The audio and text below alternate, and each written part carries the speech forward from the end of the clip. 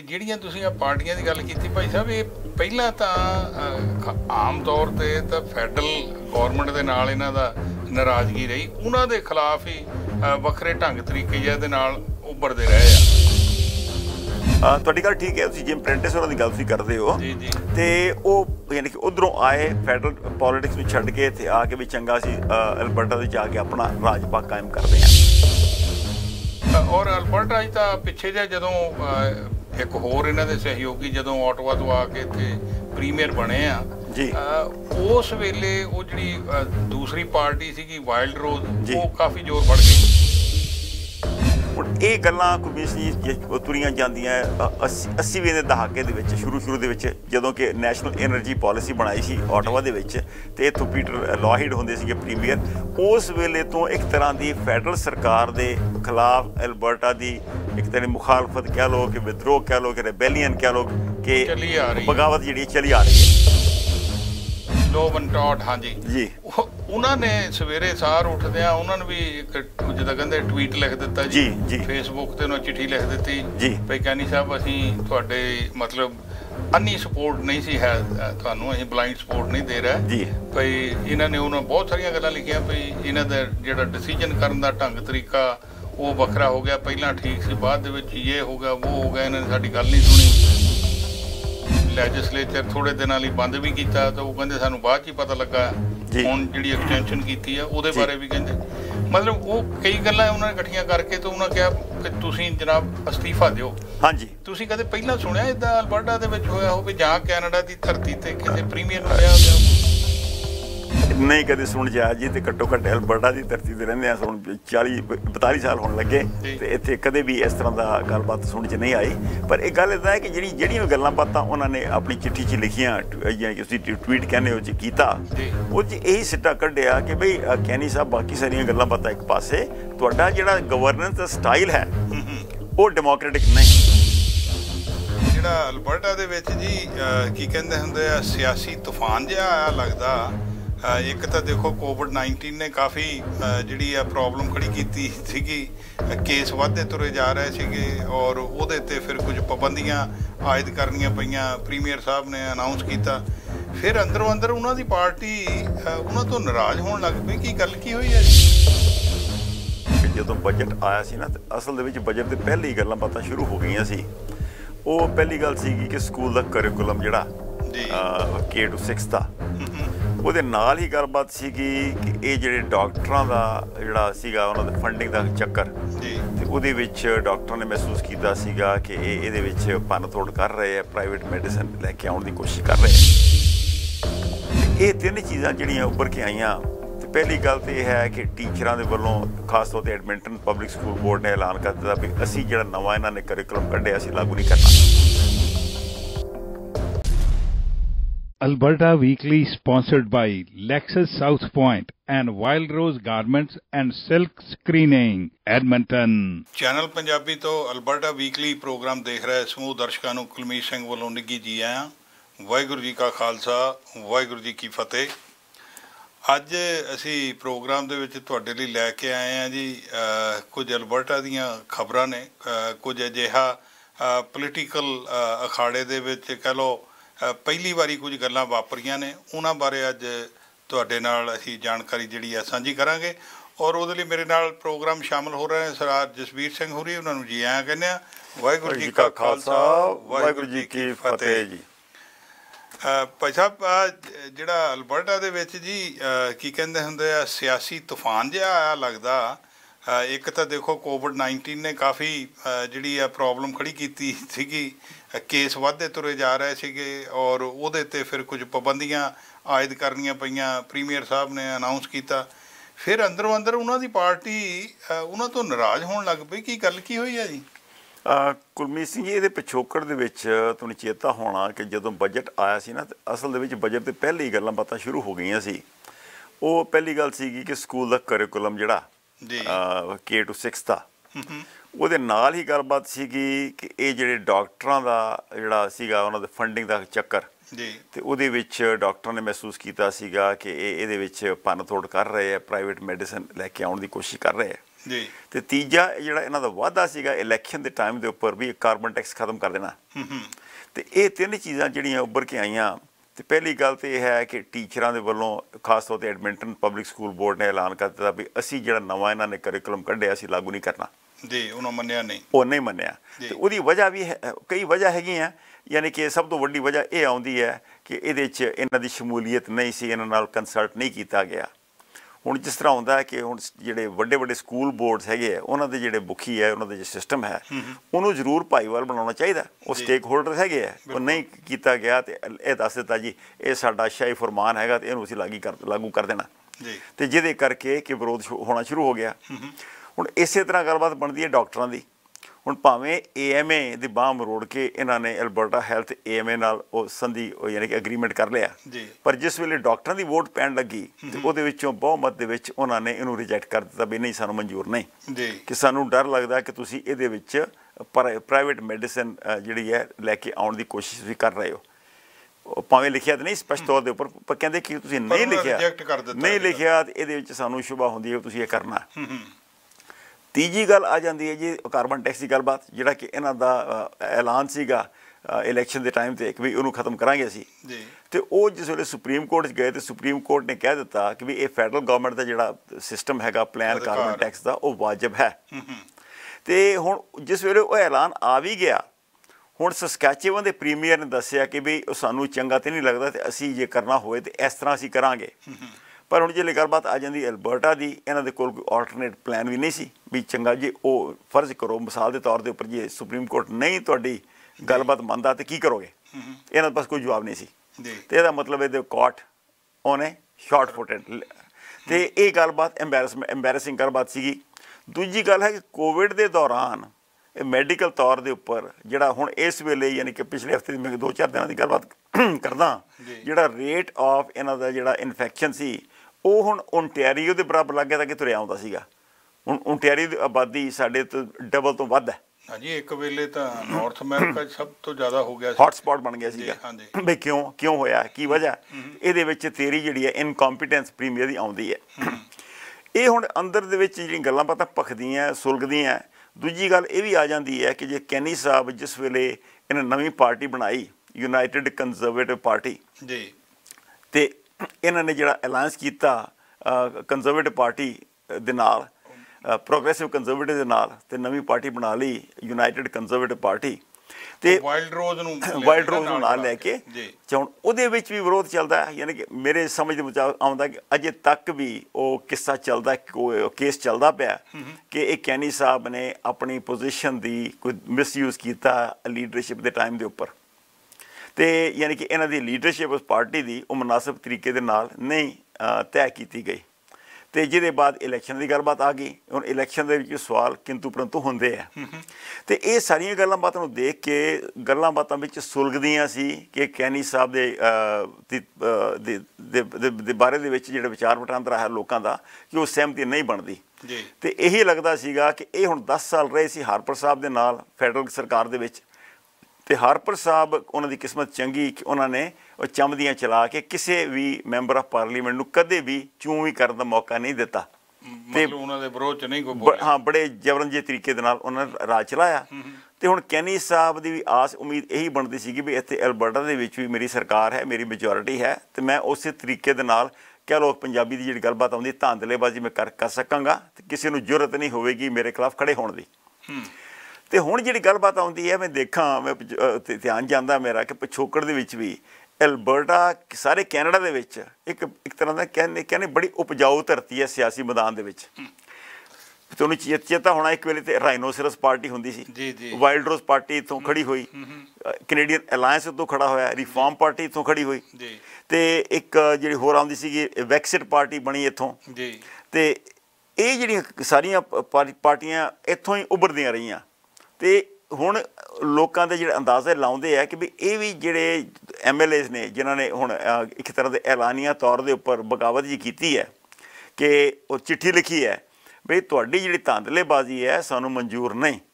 ਨਹੀਂ ਜਿਹੜੀਆਂ ਤੁਸੀਂ ਆ ਪਾਰਟੀਆਂ ਦੀ ਗੱਲ ਕੀਤੀ ਭਾਈ ਸਾਹਿਬ, ਇਹ ਪਹਿਲਾਂ ਤਾਂ ਖ- ਆਮ ਤੌਰ ਤੇ ਤਾਂ ਫੈਡਰਲ ਗਵਰਨਮੈਂਟ ਦੇ ਨਾਲ ਇਹਨਾਂ ਦਾ ਨਾਰਾਜ਼ਗੀ ਰਹੀ, ਉਹਨਾਂ ਦੇ ਖਿਲਾਫ ਹੀ ਵੱਖਰੇ ਢੰਗ ਤਰੀਕੇ ਜਿਹੇ ਨਾਲ ਉੱਭਰਦੇ ਰਹੇ ਆ। ਔਰ ਅਲਬਰਟਾ ਜੀ ਤਾਂ ਪਿੱਛੇ ਜੇ ਜਦੋਂ ਇੱਕ ਹੋਰ ਇਹਨਾਂ ਦੇ ਸਹਿਯੋਗੀ ਜਦੋਂ ਆਟਵਾ ਤੋਂ ਆ ਕੇ ਇੱਥੇ ਪ੍ਰੀਮੀਅਰ ਬਣੇ ਆ ਜੀ।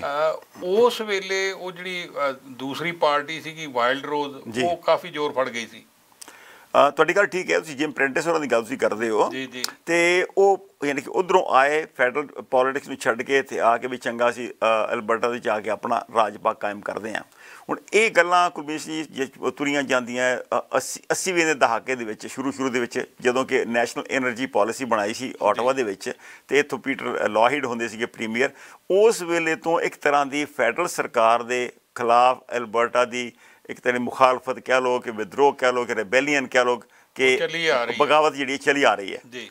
ਤੇ ਉਹਦੇ ਵਿੱਚ ਕਦੇ ਵੀ ਇਹਨਾਂ ਨੇ ਢਿੱਲ ਨਹੀਂ ਕੀਤੀ ਕਿ ਇਹਨੂੰ ਮੱਠਾ ਹੋਣ ਦਿੱਤਾ ਜਾਏ। ਕਿਸੇ ਨਾ ਕਿਸੇ ਤਰੀਕੇ ਨਾਲ ਉਹਨੂੰ ਭੜਕਾਓ ਭੜਕਾਈ ਜਾਓ ਚੱਕੀ ਜਾਓ। ਹੁਣ ਜੇ ਗੱਲਬਾਤ ਆਉਂਦੀ ਹੈ ਕਿ ਉਹ ਜਿਹੜੀ ਚੀਜ਼ ਹੈ ਲੋਕਾਂ ਦੇ ਮਨਾਂ ਦੇ ਵਿੱਚ ਹੁਣ 1980 ਤੋਂ ਲੈ ਕੇ ਹੁਣ ਤੱਕ ਜਿਹੜੇ ਡੈਮੋਗ੍ਰਾਫਿਕ ਯਾਨੀ ਕਿ ਆਬਾਦੀ ਦੇ ਵਿੱਚ ਬਹੁਤ ਸਾਰੀਆਂ ਤਬਦੀਲੀਆਂ ਆਈਆਂ। ਜੀ।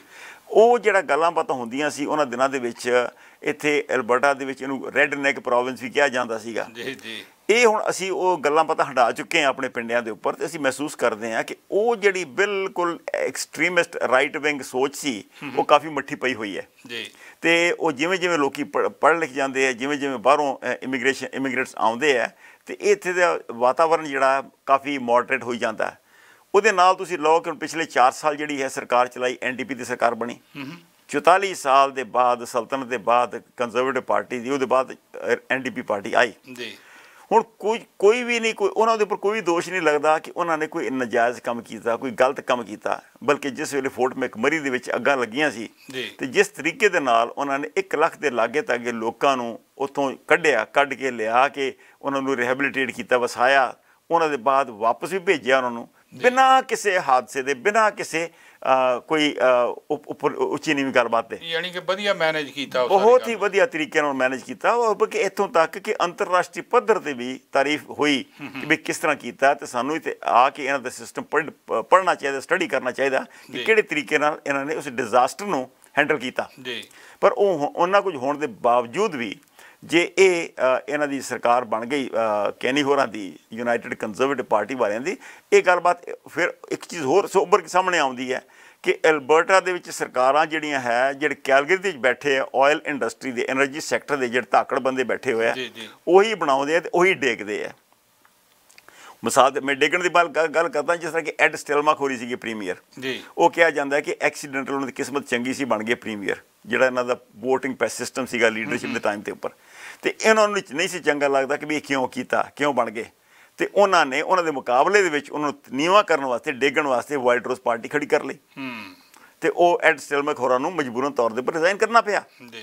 ਤੇ ਇਹ ਜਿਹੜਾ ਪੈਟਰਨ ਹੈ ਐਲਬਰਟਾ ਦੇ ਵਿੱਚ ਪ੍ਰੋਵਿੰਸ਼ੀਅਲ ਸਿਆਸਤ ਦਾ ਇਹ ਕਾਫੀ ਯਾਨੀ ਕਿ ਉਤਾਰ ਚੜਾ ਦੇਖਦੇ ਆ ਰਹੇ ਹਾਂ ਅਸੀਂ।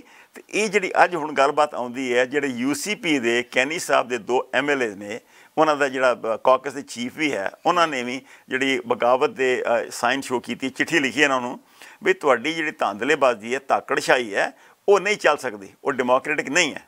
ਉਹ ਪਹਿਲਾਂ 16 ਬੰਦਿਆਂ ਨੇ ਇਹਨਾਂ ਦੀ ਲਿਖੀ ਸੀ ਜੀ, ਜੀ, ਜੀ। ਉਹ ਗੱਲਬਾਤ ਵਿੱਚੇ ਹੀ ਥੋੜੀ ਜੀ ਦਬ ਗਈ ਉਹ ਕਿਤੇ ਬਾਹਰ ਉੱਭਰ ਕੇ ਨਹੀਂ ਆਈ ਪਰ ਆ ਪਿਛਲੇ ਥੋੜੇ ਦਿਨ ਹੋਇਆ ਜਦੋਂ ਇਹਨਾਂ ਦੇ ਉਹ ਕਾਕਸ ਚੀਫ ਜਿਹੜੇ ਸੀਗੇ ਕੀ ਨਾ ਉਹਨਾਂ ਦਾ ਟੌਡ ਲੋਵਨ। ਲੋਵਨ ਟੌਡ ਹਾਂਜੀ। ਜੀ। ਉਹ- ਉਹਨਾਂ ਨੇ ਸਵੇਰੇ ਸਾਰ ਉੱਠਦਿਆਂ ਉਹਨਾਂ ਨੂੰ ਵੀ ਇੱਕ ਜਿੱਦਾਂ ਕਹਿੰਦੇ ਟਵੀਟ ਲਿਖ ਦਿੱਤਾ ਜੀ। ਫੇਸਬੁੱਕ ਤੇ ਉਹਨਾਂ ਚਿੱਠੀ ਲਿਖ ਦਿੱਤੀ।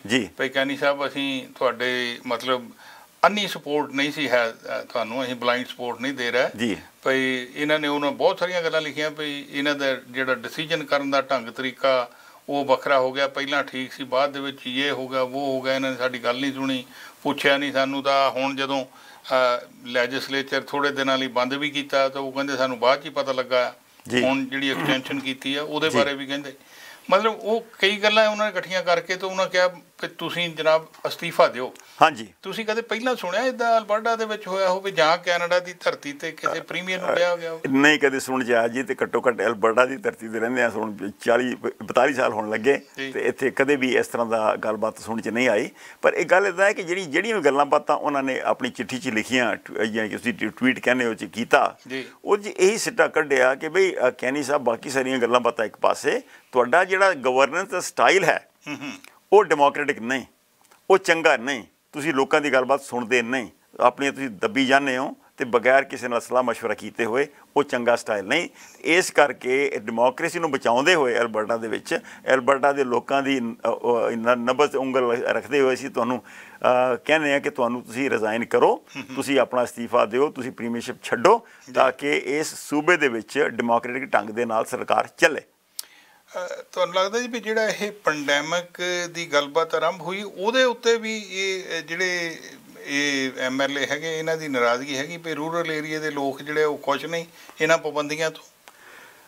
ਇਹ ਗੱਲ ਜਿਹੜੀ ਹੈ ਗੁਰਮੀਤ ਸਿੰਘ ਜੀ, ਜਿਹੜਾ ਸਾਡਾ ਐਲਬਰਟਾ ਦਾ ਸੱਜੇ ਪੱਖੀ ਸੋਚ ਹੈ ਨਾ ਉਹ ਕਾਫੀ ਸਾਂਝੀ ਹੈ ਜਿਸ ਤਰ੍ਹਾਂ ਕਿ ਅਮਰੀਕਾ ਦੇ ਵਿੱਚ ਰਿਪਬਲਿਕਨ ਸੋਚ ਹੈ ਜਿਹੜੀ ਕਿ ਟਰੰਪ ਹੋਰਾਂ ਨੇ ਕਾਫੀ ਉਹਨੂੰ ਹੁੰਗਾਰਾ ਦਿੱਤਾ ਕਾਫੀ ਹਵਾ ਦਿੱਤੀ ਹੋਈ ਸੀ। ਤੇ ਐਲਬਰਟਾ ਦੇ ਵਿੱਚ ਵੀ ਰੂਰਲ ਇਲਾਕਿਆਂ ਦੇ ਵਿੱਚ ਜੇ ਸੱਜੇ ਪੱਖੀ ਸੋਚ ਉਸ ਉਸ ਤਰ੍ਹਾਂ ਦੀ ਉਹ ਬਹੁਤ ਜ਼ਬਰਦਸਤ ਸਟਰੋਂਗ ਹੈ। ਤੇ ਇਹ ਹੁਣ ਜਿਹੜਾ ਹੁਣ ਸਾਡਾ ਆਪਣਾ ਭਾਵੇਂ ਅਸੀਂ ਕਹਿ ਦਿੰਨੇ ਆ ਕਿ ਐਲਬਰਟਾ ਦੀ ਜਿਹੜੀ ਆਬਾਦੀ ਹੈ 1/3 ਕੈਲਗਰੀ ਦੇ ਵਿੱਚ 1/3 ਐਲਬਰਟਾ ਐਡਮਿੰਟਨ ਦੇ ਵਿੱਚ ਤੇ ਬਾਕੀ 1/3 ਸਾਰੇ ਸੂਬੇ ਚ ਵੰਡੀ ਹੋਈ ਹੈ। ਪਰ ਉਹ ਰੂਰਲ ਇਲਾਕਿਆਂ ਦੇ ਵਿੱਚ ਜਿਹੜੀ ਵੰਡ ਹੈ ਨਾ ਐਮਐਲਏ ਦੀ ਉਹ ਕਾਫੀ ਇੱਕ ਪਾਸੜ ਹੈ। ਯਾਨੀ ਕਿ ਫੇਵਰ ਕਰਦੀ ਹੈ ਰੂਰਲ ਇਲਾਕਿਆਂ ਦੇ ਵਿੱਚ। ਤੇ ਉਹ ਹੁਣ ਜਿਹੜੇ ਐਮਐਲਏ ਹੈ ਹੁਣ ਜਿਹੜੀਆਂ ਰੁਕਾਵਟਾਂ ਰੈਸਟ੍ਰਿਕਸ਼ਨਸ ਜਾਂ ਬਲੌਕੇਡ ਵਗੈਰਾ ਲਾਏ ਜਾ ਰਹੇ ਹੈ ਬਲੈਕ ਕੀ ਕਹਿੰਦੇ ਉਹਨੂੰ ਲਾਕਡਾਊਨ ਜੇ ਲਾਏ ਜਾ ਰਹੇ ਹੈ ਤੇ ਇਸ ਕਰਕੇ ਉਹ ਲੋਕੀ ਜਿਹੜੇ ਰੂਰਲ ਇਲਾਕੇ ਦੇ ਲੋਕ ਹੈ ਉਹਨਾਂ ਨੂੰ ਚੰਗੀਆਂ ਨਹੀਂ ਲੱਗਦੀਆਂ। ਤੇ ਇਹ ਜਿਹੜੇ ਐਮਐਲਏ ਹੈ, ਉਹਨਾਂ ਇਲਾਕਿਆਂ ਨੂੰ ਰਿਪਰੈਜ਼ੈਂਟ ਕਰਦੇ ਉਹਨਾਂ ਲੋਕਾਂ ਦੀਆਂ ਸੋਚਾਂ ਨੂੰ ਰਿਪਰੈਜ਼ੈਂਟ ਕਰਦੇ ਆ। ਤੇ ਜਿਹੜੀ ਤੁਸੀਂ ਪਹਿਲੇ ਗੱਲ ਕੀਤੀ ਕਿ 16 ਐਮਐਲਏ ਸੀਗੇ ਜਿਨ੍ਹਾਂ ਨੇ ਚਿੱਠੀ ਲਿਖੀ ਸੀ, ਤੇ ਉਹਦੇ ਵਿੱਚ ਵੀ ਗੱਲਾਂ ਬਾਤਾਂ ਇਹੀ ਅਸੰਤੋਸ਼ ਜਿਹਾ ਸੀਗਾ ਪ੍ਰੀਮੀਅਰ ਸਾਹਿਬ ਵੱਲ। ਤੇ ਇਹ ਜਿਹੜੀ ਗੱਲਬਾਤ ਹੈ ਹੁਣ ਸੁਲਗ ਰਹੀ ਹੈ, ਤੇ ਹੁਣ ਭਾਵੇਂ ਉਹਨਾਂ ਨੂੰ ਕਾਕਸ ਦੇ ਵਿੱਚੋਂ ਕੱਢ ਦਿੱਤਾ ਗਿਆ ਹੁਣ ਦੋਵੇਂ ਹੁਣ ਅੱਜ ਅੱਜ ਹੁਣ ਇਸ ਵੇਲੇ ਇੰਡੀਪੈਂਡੈਂਟ ਐਮਐਲਏ ਦੇ ਤੌਰ ਦੇ ਉੱਪਰ ਸੇਵਾ ਕਰ ਰਹੇ ਹੈ। ਪਰ ਇਹਦਾ ਇਹ ਮਤਲਬ ਨਹੀਂ ਕਿ ਇਹ ਜਿਹੜੀ ਅਸੰਤੁਸ਼ਟਤਾ ਜਾਂ ਨਾਰਾਜ਼ਗੀ ਹੈ ਸਿਰਫ ਇਹਨਾਂ ਦੋ ਐਮਐਲਏ ਦੇ ਉੱਪਰ ਸੀਮਤ ਹੈ। ਤੇ ਜੇ ਪਹਿਲੇ 16 ਨੇ ਚਿੱਠੀ ਲਿਖੀ ਸੀ ਤੇ ਲੱਗਦਾ ਕਿ ਉਹ 16 ਵੀ ਇਹਨਾਂ ਦੇ ਹਮਖਿਆਲੀ ਬੰਦੇ ਹੀ ਹੈ ਐਮਐਲਏ ਹੈ। ਤੇ ਇਹ ਹੁਣ ਸਮਾਂ ਦੱਸੇਗਾ ਕਿ ਆਉਂਦੇ ਸਮੇਂ ਦੇ ਵਿੱਚ ਕਿਹੜੇ ਤਰੀਕੇ ਦੇ ਨਾਲ ਪ੍ਰੀਮੀਅਰ ਸਾਹਿਬ ਉਹਨਾਂ ਨਾਲ ਨਜਿੱਠਦੇ ਆ ਕੀ ਇਹ ਸਿਚੁਏਸ਼ਨ ਨੂੰ ਕਾਬੂ 'ਚ ਕਰ ਲੈਣਗੇ ਜਾਂ ਫਿਰ ਇੱਥੇ ਵੀ ਸਿਆਸੀ ਤੌਰ ਦੇ ਉੱਪਰ ਅਦਲਾ ਬਦਲੀ ਹੋਏਗੀ। ਨਹੀਂ ਜੀ ਦੇਖੋ ਗੱਲ ਸੁਣੋ ਪ੍ਰੀਮੀਅਰ ਸਾਹਿਬ ਹੈ ਤੇ ਤੁਹਾਨੂੰ ਪਤਾ ਬੜੀ ਉਹਨਾਂ ਨੇ ਚੁਸਤੀ ਨਾਲ ਵੈਸੇ ਮੈਂ ਇੱਕ ਦਿਨ ਪਹਿਲਾਂ ਹਜੇ ਉਹ ਵਿਚਾਰ ਸ਼ਾਮ ਨੂੰ ਪੜ੍ਹ ਹੀ ਰਿਹਾ ਸੀ ਜਿੱਥੇ ਕਈ ਮਾਹਰਾਂ ਨੇ ਗੱਲ ਕੀਤੀ ਸੀ ਵੀ ਕੈਨੀ ਸਾਹਿਬ ਕੀ ਕਰਨਗੇ ਵੀ ਉਹਨਾਂ ਨੂੰ ਰੱਖਣਗੇ ਤੇ ਕਿਸ ਤਰ੍ਹਾਂ ਦੀਆਂ ਮੁਸ਼ਕਲਾਂ ਉਹਨਾਂ ਨੂੰ ਆਉਂਦੀਆਂ ਜੇ ਉਹਨਾਂ ਨੂੰ ਕੱਢਣਗੇ ਤਾਂ ਕਿਸ ਤਰ੍ਹਾਂ ਦੀਆਂ ਮੁਸ਼ਕਲਾਂ ਆਉਂਦੀਆਂ। ਉਹ ਹਜੇ ਉਹਨਾਂ ਨੇ ਤਾਂ ਇਹੀ ਕਿਆਸ ਰਾਈਆਂ ਲਾਈਆਂ ਸੀਗੀਆਂ। ਜੀ। ਉਹ ਦੂਸਰੇ ਦਿਨ ਸਵੇਰੇ ਹੀ ਪਹਿਲਾਂ ਖਬਰ ਆ ਗਈ ਵੀ ਉਹ ਤਾਂ ਜੀ ਕੱਢ ਦਿੱਤੇ ਗਏ ਦੋ ਬੰਦੇ। ਅੱਛਾ ਫਿਰ ਇਹ ਸੁਣਨ ਚ ਆਇਆ ਕੈਨੀ ਸਾਹਿਬ ਕਹਿੰਦੇ ਜੀ ਵੀ ਮੈਂ ਤਾਂ ਨਹੀਂ ਕੱਢੇ ਉਹ। ਜੀ। ਉਹ ਤਾਂ ਕਹਿੰਦੇ ਜੀ ਕਿਸੇ ਹੋਰ ਜਿਹੜੇ ਐਮਐਲਏ ਆ ਉਹਨਾਂ ਨੇ ਮਤਾ ਲਿਆਂਦਾ ਤੇ ਉਹ ਕੱਢ ਦਿੱਤੇ ਗਏ। ਅ ਕੁਲਵੀਰ ਜੀ ਇਹ ਸਿਆਸੀ ਤੌਰ ਦੇ ਉੱਪਰ ਸਿਆਣਪ ਦੀ ਗੱਲ ਹੈ ਕਿ ਭਾਵੇਂ ਫੈਸਲਾ ਮੇਰਾ ਹੀ ਹੈ ਕਰਨਾ ਮੈਂ ਹੀ ਹੈ ਪਰ ਦੂਜੇ ਦੇ ਹੱਥ ਬੰਦੂਕ ਫੜਾ ਦਿਓ ਦੂਜੇ ਦੇ ਮੋਢੇ ਤੇ ਚਲਾਓ। ਦੂਜੇ ਦੇ ਮੋਢੇ ਤੇ ਰੱਖ ਕੇ ਬੰਦੂਕ ਚਲਾ ਲਓ। ਜਾਂ ਦੂਜੇ ਨੂੰ ਕਹੋ ਤੂੰ ਬੰਦੂਕ ਚਲਾ ਦੇ ਵੀ ਘੋੜੇ ਤੇ ਉੱਪਰ ਧਾਗਾ ਬੰਨ ਕੇ ਮੈਂ ਚਲਾਉਂਗਾ ਪਰ ਬੰਦੂਕ ਫੜੀ ਹੋਈ ਹੈ। ਤੇ ਇਹ ਗੱਲਾਂ ਪਤਾ ਹੁੰਦੀਆਂ ਰਹਿੰਦੀਆਂ। ਜੀ ਕੋਈ ਨਵੀਂ ਗੱਲ ਨਹੀਂ ਹੈ। ਤੇ ਇਹ ਹੁਣ ਜੇ ਕੈਨੀ ਸਾਹਿਬ ਹੈ ਹੁਣ ਮਿਸਾਲ ਦੇ ਤੌਰ ਤੇ ਜਿਸ ਤਰ੍ਹਾਂ ਇੱਕ ਚੀਜ਼ ਉਹਨਾਂ ਨੇ ਪੁਆਇੰਟ ਆਊਟ ਕੀਤੀ ਵੀ ਕੈਨੀ ਸਾਹਿਬ ਤੁਸੀਂ ਬਹੁਤ ਅੰਧਾ ਧੁੰਦ ਤਰੀਕੇ ਦੇ ਨਾਲ ਬਹੁਤ ਧਾਂਦਲੇਬਾਜ਼ੀ ਤੁਸੀਂ ਕਰ ਰਹੇ ਹੋ। ਜੇ ਹੁਣ ਉਹਨਾਂ ਨੂੰ ਕੱਢਦੇ ਆ ਕੈਨੀ ਸਾਹਿਬ ਆਪ ਕੱਢਦੇ ਆ ਤੇ ਫਿਰ ਉਹ ਜਿਹੜਾ ਇਤਰਾਜ਼ ਹੈ ਇਲਜ਼ਾਮ ਹੈ ਉਹ ਮਜ਼ਬੂਤ ਹੁੰਦਾ ਹੈ। ਹੂੰ ਤੇ ਕਿਸੇ ਨੂੰ ਕਿਹਾ ਕਿ ਵੀ ਤੁਸੀਂ ਇਹ ਮਤਾ ਰੱਖੋ ਤੇ ਕਾਕਸ ਦੇ ਵਿੱਚ ਤੇ ਫਿਰ ਅਸੀਂ ਫੈਸਲਾ ਲਵਾਂਗੇ। ਤੇ ਉਹਦੇ ਉੱਪਰ ਉਹਨਾਂ ਨੇ ਮੈਜੋਰਿਟੀ ਦਾ ਫੈਸਲਾ ਲੈ ਕੇ ਕਿਹਾ ਜੀ, ਚੰਗਾ ਜੀ ਕਿ ਕਾਕਸ ਦਾ ਫੈਸਲਾ ਕਿ ਤੁਸੀਂ ਹੁਣ ਸਾਡੇ ਕਾਕਸ ਦੇ ਵਿੱਚ ਮੈ- ਮੈਂਬਰ ਨਹੀਂ। ਹੁਣ ਇਹ ਵੀ ਗੱਲਬਾਤ ਨਹੀਂ ਆ ਰਹੀ, ਸਵਾਲ ਸਵਾਲੀਆ ਚਿੰਨ੍ਹ ਬਣੇ ਹੋਏ ਵੀ ਕਿੰਨੇ ਲੋਕਾਂ ਨੇ ਉਸ ਮਤੇ ਦੀ ਹਮਾਇਤ ਦੇ ਵਿੱਚ ਵੋਟਾਂ ਪਾਈਆਂ ਤੇ ਕਿੰਨਿਆਂ ਨੇ ਉਹਦੇ ਉਲਟ ਵੋਟਾਂ ਉਹ ਪਾਈਆਂ ਜਿਹੜਾ VOTING ਪ੍ਰੋਸੈਸ ਆ, ਉਹਦੀ ਵੀ ਉਹ ਕਹਿੰਦੇ ਜੀ ਵੀ ਸਿਲਸਿਲਾ ਮਤਲਬ ਉਹਨੂੰ ਕੌਨਫੀਡੈਂਸ਼ੀਅਲ ਨਹੀਂ ਰੱਖਿਆ ਗਿਆ। ਸੀਕ੍ਰੇਟ ਬੈਲਟ ਨਹੀਂ ਸੀ ਹੈ। ਨਹੀਂ ਸੀ ਪਰ ਇਹ ਵੀ ਨਹੀਂ ਪਤਾ ਕਿ ਕਿੰਨਿਆਂ ਨੇ ਉਹਦੇ ਹੱਕ 'ਚ ਵੋਟਾਂ ਪਾਈਆਂ ਤੇ ਕਿੰਨਿਆਂ ਨੇ ਉਹਦੇ ਉਲਟ ਪਾਈਆਂ। ਇਹ ਵੀ ਨਹੀਂ ਪਤਾ ਨਹੀਂ ਦੱਸਿਆ ਗਿਆ। ਤੇ ਫਿਰ ਮਤਾ ਕਿਵੇਂ ਪਾਸ ਹੋ ਗਿਆ ਜੀ? ਤੇ ਯਾਨੀ ਕਿ ਉਹ- ਫੈਸਲਾ ਕੀਤਾ ਜੀ ਮੈਜੋਰਿਟੀ ਨੇ ਕੀਤਾ ਹੈ ਤੇ ਮੈਜੋਰਿਟੀ ਦੇ ਹੱਥਾਂ ਹੱਥ ਗਿਣ ਲਏ ਜਾਂ ਪਰਚੀਆਂ ਗਿਣ ਲਈਆਂ ਜੋ ਵੀ ਕੀਤਾ ਤੇ ਉਹਦੇ ਮੁਤਾਬਕ ਮੈਜੋਰਿਟੀ ਨੇ ਫੈਸਲਾ ਕੀਤਾ ਜੀ ਕਿ ਇਹਨਾਂ ਨੂੰ ਕੱਢ ਦਿੱਤਾ ਜਾਏ। ਪਰ ਹੁਣ ਇਹ ਨਹੀਂ ਪਤਾ ਜੇ ਮਿਸਾਲ ਦੇ ਤੌਰ ਦੇ ਉੱਪਰ ਜੇ ਫਰਜ਼ ਕਰੋ ਅ, 25 ਬੰਦੇ ਉਹਦੇ ਉਹਨਾਂ ਦੇ ਕੱਢਣ ਦੇ ਹੱਕ ਵਿੱਚ ਵਿੱਚ ਹੈ ਤੇ 21 ਬੰਦੇ ਉਹਨਾਂ ਦੇ ਉਲਟ ਹੈ ਯਾਨੀ ਕਿ ਉਹਨਾਂ ਦੇ ਰੱਖਣ ਦੇ ਹੱਕ ਵਿੱਚ ਹੈ। ਤੇ ਇਹ ਫਿਰ ਪਤਾ ਚੱਲਦਾ ਹੈ ਕਿ ਕੈਨੀ ਸਾਹਿਬ ਵਾਸਤੇ ਇਹਨਾਂ ਦੇ ਦੋਹਾਂ ਨੂੰ ਕੱਢਣ ਦੇ ਨਾਲ ਬਿਪਤਾ ਮੁਕਦੀ ਨਹੀਂ। ਇਹ ਪ੍ਰੋਬਲਮ ਹੈ। ਜੀ ਜੀ ਜੀ। ਤੇ ਇਸ ਕਰਕੇ ਹੁਣ ਆਉਂਦੇ ਸਮੇਂ ਦੇ ਵਿੱਚ ਅਸੀਂ ਦੇਖਾਂਗੇ ਕੀ ਕੀ- ਕੀ ਹੁੰਦਾ। ਐਂਡ ਅਸੀਂ ਆਸ ਕਰਦੇ ਹਾਂ ਕਿ ਉਸ ਸਮਾਂ ਦੇ ਉਹ ਹੀ ਦੇਖਾਂਗੇ ਤੇ ਨਾਲ ਨਾਲ ਇਹ ਵੀ ਦੇਖਾਂਗੇ ਅਸੀਂ ਆਸ ਕਰਦੇ ਹਾਂ ਕਿ ਅਲਬਰਟਾ ਦੇ ਵਿੱਚ ਜਿਹੜੀ ਕੋਵਿਡ ਦੀ ਵਿਪਤਾ ਬਣੀ ਹੋਈ ਹੈ ਇਹ ਮੱਠੀ ਪਵੇ। ਨਹੀਂ ਜੀ ਪਿਛਲੇ ਕੁਝ ਦਿਨਾਂ ਦੇ ਜਿਹੜੇ ਉਹ ਕੇਸਿਸ ਹੈਗੇ ਉਹ ਤਾਂ ਥੱਲੇ ਆਉਣੇ ਸ਼ੁਰੂ ਹੋ। ਗਏ। ਜਿਹੜੀ ਤੁਸੀਂ ਗੱਲ ਕਹੀ ਸੀਗੀ ਕਿ ਜਿਹੜੇ ਰੂਰਲ ਖੇਤਰ ਹੈਗੇ ਆ ਉਹ ਇੱਕ ਤਾਂ ਸੀ ਨਾ ਪਿੱਛੇ ਜੇ ਰੋਡੀਓ ਹੋਇਆ ਸੀਗਾ ਆਪਣੇ ਸੈਂਟਰਲ ਅਲਬਰਟਾ 'ਚ ਕਿਤੇ। ਤੇ ਜਿਹਦੀ ਕਰਕੇ ਕੈਨੀ ਸਾਹਿਬ ਨੇ ਉਹਨਾਂ ਨੂੰ ਵੀ ਦਬਕਾ ਮਾਰਿਆ ਸੀਗਾ ਲੋਕਾਂ ਨੂੰ ਵੀ ਤੁਸੀਂ ਇਹ ਗਲਤ ਕੰਮ ਕਰ ਰਹੇ ਆ। ਜੀ। ਆ ਹੁਣ ਜਦੋਂ ਦੇ ਕੇਸ ਆ ਮੇਰੇ ਖਿਆਲ ਦੋ ਕੁ ਦਿਨ ਹੀ ਹੋਇਆ ਜੀ ਥੱਲੇ ਆਉਣ ਲੱਗਿਆ ਨੂੰ। ਤੇ ਆ ਪਨੋਕਾ ਦੇ ਵਿੱਚ ਉਹਨਾਂ ਨੇ ਖੋਲ ਵੀ ਦਿੱਤਾ ਉਹ ਕਹਿੰਦੇ ਜੀ ਰੋਡੀਓ ਉੱਥੇ ਹੋਇਆ ਹੁਣ। ਉਹ ਕਹਿੰਦੇ ਬਹੁਤ ਵਧੀਆ ਹੈ ਜੀ ਇਹ। ਤੇ ਇਹ ਹੁਣ ਜਿਹੜੀ ਜਿਵੇਂ ਅਸੀਂ ਪਹਿਲੇ ਗੱਲ ਕਰਦੇ ਸੀ ਕਿ ਜਿਹੜੀ ਆਪਣੇ ਖੇਤੀਬਾੜੀ ਦੇ ਪੱਖ ਦੇ ਵਿੱਚ ਯਾਨੀ ਖੇਤਰ ਦੇ ਵਿੱਚ ਜਿਹੜੇ ਰਾਈਟ ਵਿੰਗ ਸੋਚ ਹੈ ਐਕਸਟ੍ਰੀਮਿਸਟ ਸੋਚ ਹੈ ਤੇ ਉਹਦੇ ਵਿੱਚ ਯਾਨੀ ਕਿ ਉਹਨਾਂ ਨੂੰ ਸੀਟ ਬੈਲਟ ਲਾਉਣ ਤੇ ਵੀ ਇਤਰਾਜ਼ ਹੈ। ਉਹ ਜਿਸ ਵੇਲੇ ਤੁਸੀਂ ਸਾਨੂੰ ਯਾਦ ਹੋਣਾ ਕਿ ਜਦੋਂ ਸਰਕਾਰ ਨੇ ਲਿਬਰਲ ਸਰਕਾਰ ਨੇ ਕੀਤਾ ਸੀਗਾ ਕਿ ਗਨ ਰਜਿਸਟਰੀ ਦੀ ਗੱਲਬਾਤ। ਜੀ ਜੀ। ਬਈ ਅਸੀਂ ਰਜਿਸਟਰੀ ਕਰਨਾ ਚਾਹੁੰਦੇ ਸਾਨੂੰ ਪਤਾ ਹੋਣਾ ਚਾਹੀਦਾ ਬਈ ਜੇ ਕਿਸੇ ਘਰ ਦੇ ਵਿੱਚ ਕੋਈ ਕਾਲ ਆਉਂਦੀ ਹੈ ਆਰਸੀਐਮਪੀ ਜਾਂਦੀ ਹੈ ਉੱਤੇ ਉਹਨਾਂ ਨੂੰ ਪਤਾ ਹੋਵੇ ਕਿ ਕਿੰਨੀਆਂ ਮਸ਼ੀਨ ਗਨਾਂ ਇਹਨਾਂ ਕੋਲ ਹੈ ਤੇ ਉਹਦੇ ਮੁਤਾਬਕ ਤਿਆਰੀ ਕਰਕੇ ਜਾਣ। ਤੇ ਹੁਣ ਉਹਦੇ ਉੱਪਰ ਵੀ ਜੇ ਹਾਰਪਰ ਸਾਹਿਬ ਦੀ ਸਰਕਾਰ ਬਣੀ ਸੀ ਇਸੇ ਗੱਲ ਦੇ ਉੱਪਰ ਬਣੀ ਸੀ ਵੀ ਅਸੀਂ ਉਹ ਗਨ ਰਜਿਸਟਰੀ ਰੱਦ ਕਰ ਦੇਣੀ ਹੈ। ਭਾਵੇਂ 400 ਮਿਲੀਅਨ ਡਾਲਰ ਖਰਚਾ ਆ ਚੁੱਕਾ ਸੀ ਸਾਰਾ ਕੰਮ ਹੋਇਆ ਹੋਇਆ ਸੀ ਤੇ ਉਹਦੇ ਬਾਅਦ ਆ ਕੇ ਇਹਨਾਂ ਨੇ ਸਿਰਫ ਆਪਣੀ ਸੱਤਾ, ਆਪਣੀ ਤਾਕਤ ਜਮਾਉਣ ਵਾਸਤੇ ਕਿ ਹਾਂ ਜੀ ਮੈਂ ਡਿਸਾਈਸਿਵ ਬੰਦਾ, ਮੈਂ ਫੈਸਲਾ ਕਰ ਸਕਦਾ ਤੇ ਉਹਨਾਂ ਨੇ ਲਿਆ ਕੇ ਉਹਨੂੰ ਸਾਰੇ ਕੰਮ ਨੂੰ ਰੱਦ ਕਰ ਦਿੱਤਾ ਸੀ। ਅੱਛਾ, ਜੇ ਹੁਣ ਇਹਨਾਂ ਦੀ ਜਿਹੜੀ ਸਿਚੁਏਸ਼ਨ ਹੁਣ ਬਣੀ ਆ, ਜੇ ਇਸੇ ਤਰ੍ਹਾਂ ਹੀ ਗੜਬੜ ਮਤਲਬ ਬੋਇਲ ਹੋ ਗਈ, ਤੇ ਉਹਦੇ ਨਾਲ ਕੈਨੀ ਸਾਹਿਬ ਆਪਣੀ ਪੂਰੀ ਟਰਮ ਕਰ ਜਾਣਗੇ ਕਿ ਜਾਂ ਜੀ ਫਿਰ ਇਹ ਟੁੱਟ ਭੱਜ ਹੋਏਗੀ? ਕੁਲਵੀਰ ਜੀ ਮੈਂ ਉਹ ਜਿਹੜਾ ਮੈਂ ਦੱਸਿਆ ਨਾ ਕਿ ਕਿੰਨੀਆਂ ਪਾਰਟੀਆਂ ਖੜੀਆਂ ਹੋਈਆਂ ਅਲਬਰਟਾ ਦੇ ਵਿੱਚੋਂ ਮੇਰਾ ਧਿਆਨ ਉਸੇ ਵੱਲ ਪਾਸੇ ਵੱਲ ਜਾਂਦਾ ਸੀਗਾ। ਕੋਈ ਨਵੀਂ ਕੋਈ ਵੱਡੀ ਗੱਲ ਨਹੀਂ ਹੋਵੇਗੀ ਕਿ ਜੇ ਕਿ ਨਵੀਂ ਪਾਰਟੀ ਖੜੀ ਹੋ ਕੇ ਇਹਨਾਂ ਦੇ ਵਿੱਚੋਂ ਕੈਨੀ ਸਾਹਿਬ ਦੀ ਯੂਸੀਪੀ ਦੇ ਵਿੱਚੋਂ ਬੰਦੇ ਨਿਕਲ ਕੇ ਕਿ ਇਹ ਕੱਲ ਤੇ ਬਣੀ ਹੈ ਯੂਸੀਪੀ ਉਹ 2017 ਦੇ ਵਿੱਚ ਬਣੀ ਹੈ ਜਦੋਂ ਇਹ ਫੈਡਰਲ ਪੋਲਿਟਿਕਸ ਛੱਡ ਕੇ ਆਏ ਹੈ। ਜੀ ਜੀ। ਠੀਕ ਹੈ ਤੇ ਜੇ ਇਹ ਹੁਣ ਲੋਕਾਂ ਨੂੰ ਨਹੀਂ ਪਸੰਦ ਆਉਂਦੀ ਇਹਨਾਂ ਦੇ ਆਪਣੇ ਕਾਕਸ ਦੇ ਵਿੱਚ ਨਹੀਂ ਇਹਨਾਂ ਮੈਂਬਰਾਂ ਨੂੰ ਪਸੰਦ ਨਹੀਂ ਆਉਂਦੀ ਤੇ ਇੱਕ ਹੋਰ ਪਾਰਟੀ ਖੜੀ ਕਰ ਲੈਣਗੇ। ਕੈਨੀ ਸਾਹਿਬ ਚੰਗਾ ਤੁਸੀਂ ਆਟਵਾ ਤੋਂ ਆਏ ਆ ਆਟਵਾ ਤੋਂ ਜਿਮ ਪ੍ਰਿੰਟਸ ਹੋਰੀ ਵੀ ਆਇਆ ਸੀ ਜਿਹੜੇ ਚੰਨ ਉਹਨਾਂ ਨੇ ਚਾੜੇ ਅਸੀਂ ਦੇਖ ਲਏ ਤੇ ਜਿਹੜੇ ਚੰਨ ਤੁਸੀਂ ਚੜੀ ਜਾਂਦੇ ਹੋ ਸਾਨੂੰ ਉਹੀ ਚੰਗੇ ਨਹੀਂ ਲੱਗਦੇ। ਅੱਛਾ ਜੇ ਜੀ ਇਹ ਯੂਸੀਪੀ ਇਦਾਂ ਸਪਲਿਟ ਹੁੰਦੀ ਆ ਤੇ। ਤੁਹਾਨੂੰ ਲੱਗਦਾ ਵੀ ਅਗਲੀ ਇਲੈਕਸ਼ਨ ਜਿਹੜੀ ਹੈਗੀ ਆ ਉਹ ਆਈ ਮੀਨ ਸਰਕਾਰ ਐਨਡੀਪੀ ਦੀ ਬਣ ਸਕਦੀ ਹੈ?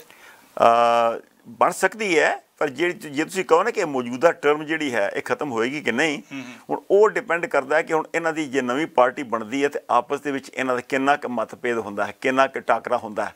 ਜੇ ਉਹ ਕਹਿਣਗੇ ਵੀ ਸਰਕਾਰ ਨਵੀਂ ਜਿਹੜੀ ਪਾਰਟੀ ਹੈ ਉਹ ਬਣਾ ਲੇਗੀ ਉਹ ਜ਼ਿਆਦਾ ਮੈਂਬਰ ਜਾਂਦੇ ਉਹਨਾਂ ਵੱਲ ਪਰ ਇਹ ਜਿੱਤੇ ਜਿਹੜੀ ਮੌਜੂਦਾ ਯੂਸੀਪੀ ਹੈ ਕੈਨੀ ਸਾਹਿਬ ਦੀ ਉਹਨਾਂ ਨੂੰ ਹਮਾਇਤ ਦੇਗੀ ਸਰਕਾਰ ਦੇ ਵਿੱਚ ਸੱਤਾ ਦੇ ਵਿੱਚ ਰੱਖਣ ਵਾਸਤੇ ਕਿ ਨਹੀਂ ਦੇਗੀ ਤੇ ਜੇ ਉਹ ਨਹੀਂ ਦਿੰਦੇ ਤੇ ਫਿਰ ਕੀ ਹੋਏਗਾ ਕਿ ਫਿਰ ਕਿਸ ਤਰੀਕੇ ਨਾਲ ਹੁਣ ਆਉਂਦੇ ਸਮੇਂ ਦੇ ਵਿੱਚ ਪਤਾ ਲੱਗੇਗਾ ਕਿ ਹੁਣ ਕਿਸ ਕਰੋੜ ਬੈਠਦਾ। ਠੀਕ ਹੈ, ਮਤਲਬ ਕੋਈ ਕਨਫਰਮ ਨਹੀਂ ਹੋ ਸਕੀ ਗੱਲ ਪੇ ਅਨਲੈਸ ਪੇ ਉਹ ਜਿਹੜੇ ਦੂਸਰੇ ਬੰਦੇ ਆ, ਉਹ ਜੇ ਖੁੱਲ ਕੇ ਸਾਰੇ ਆ ਜਾਂਦੇ, ਕਿਉਂਕਿ ਉਹ ਜਿਹੜੀ ਗੱਲ ਸੀ ਜੀ ਵੀ ਪਹਿਲਾਂ ਇੰਨੇ ਬੰਦਿਆਂ ਨੇ ਖਤ ਲਿਖਿਆ, ਮੁੜ ਕੇ ਰਹਿ ਇਹ ਦੋ ਹੀ ਗਏ ਆ ਜਿਨ੍ਹਾਂ ਨੂੰ ਕੱਢਿਆ ਗਿਆ। ਇਹ, ਇਹੀ ਤਾਂ ਨਹੀਂ ਇੱਕ ਪਾਲਿਸੀ ਵੀ ਚੰਗਾ ਇਹਨਾਂ ਨੂੰ ਦੋ ਨੂੰ ਕਰਕੇ ਪਾਸੇ ਤੇ ਬਾਕੀ ਜਿਹੜੇ 14 ਸੀਗੇ, ਉਹਨਾਂ ਨੂੰ ਤਾਂ ਸੰਭੋ। ਮੁਮਕਿਨ ਹੈ ਕੁਲਬੀ ਸੀ ਅੰਦਾਜ਼ਾ ਲਾਉਣ ਦੀ ਗੱਲਬਾਤ ਹੈ ਤੁਸੀਂ ਕਿਆਸ ਲਾ ਲਾ ਰਹੇ ਹੋ? ਤੇ ਉਹ ਸਪੈਕੂਲੇਟ ਕੋਈ ਵੀ ਕਰ ਸਕਦਾ ਕਿਸੇ ਵੀ ਤਰੀਕੇ ਦੇ ਨਾਲ। ਕੀ ਹੋਣਾ ਇਹ ਕੋਈ ਨਹੀਂ ਕਹਿ ਸਕਦਾ ਇਸ ਵੇਲੇ। ਅੱਛਾ ਜੀ ਜਿਹੜੀ ਇੱਥੇ ਆਪਣੇ ਤੁਸੀਂ ਗੱਲ ਕੀਤੀ ਸੀ ਕਿ ਕੇਸਸ ਦੀ ਜਿਹੜੇ ਆ ਕੋਵਿਡ 19 ਦੇ ਅੱਗੇ ਨਾਲੋਂ ਘਟੇ ਆ। ਜੀ। ਔਰ ਆਸ ਕਰਦੇ ਗਾਂ ਨੂੰ ਹੋਰ ਵੀ ਘਟਣਗੇ।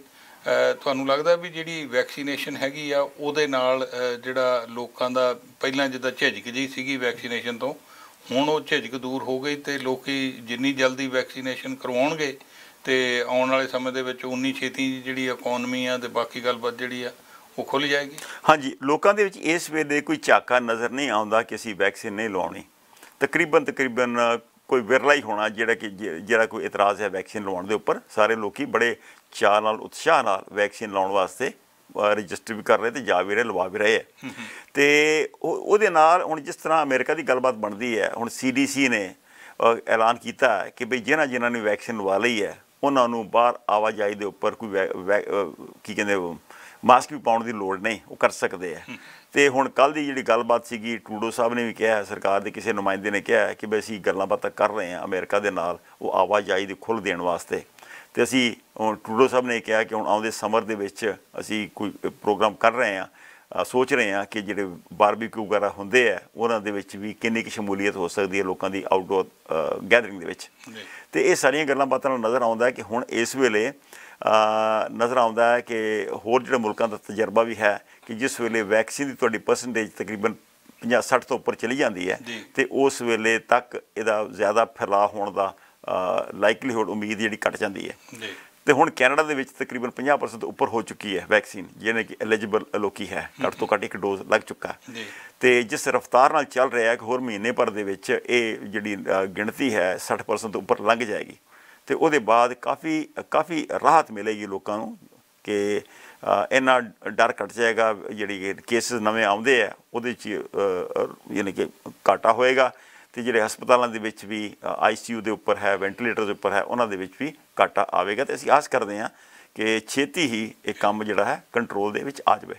ਬਹੁਤ ਬਹੁਤ ਧੰਨਵਾਦ ਭਾਈ ਸਾਹਿਬ। ਬਹੁਤ ਵਧੀਆ ਜੀ ਇਹ ਜਾਣਕਾਰੀ ਦਿੱਤੀ ਹੈ। ਅੱਜ ਅਲਬਰਟਾ ਦੇ ਇਸ ਸਿਆਸੀ ਜਿਹੜਾ ਤੂਫਾਨ ਉੱਠਿਆ ਹੋਇਆ ਦੇਖਦੇ ਹਾਂ ਗਾਂ ਕੀ ਬਣਦਾ ਹੈ ਜੀ। ਬਹੁਤ ਬਹੁਤ ਧੰਨਵਾਦ। ਵਾਹਿਗੁਰੂ ਜੀ ਕਾ ਖਾਲਸਾ ਵਾਹਿਗੁਰੂ ਜੀ ਕੀ ਫਤਿਹ। ਸਾਡਾ ਹਰ ਇੱਕ ਪ੍ਰੋਗਰਾਮ ਦੇਖਣ ਤੇ ਸਾਡੇ ਨਾਲ ਜੁੜਨ ਲਈ ਸਬਸਕ੍ਰਾਈਬ ਕਰੋ। ਚੈਨਲ ਪੰਜਾਬੀ ਤੇ ਨੋਟੀਫਿਕੇਸ਼ਨ ਲਈ ਬੈਲ ਆਈਕਨ ਵਾਲੇ ਬਟਨ ਤੇ ਕਲਿੱਕ ਕਰੋ।